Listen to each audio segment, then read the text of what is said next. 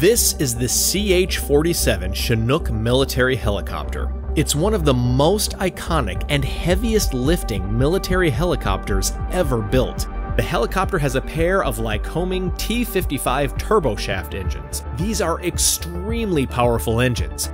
The cabin provides 42 cubic meters of cargo space, with massive cargo space, impressive lifting capability, incredible speed, and plenty of room for weapon systems, it's no wonder the design of the CH 47 Chinook hasn't changed much since 1961.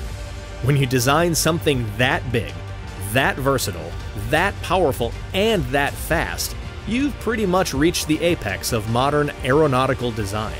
At least for now.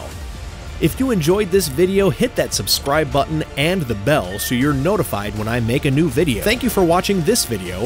I hope you learned a lot, and I will see you next time.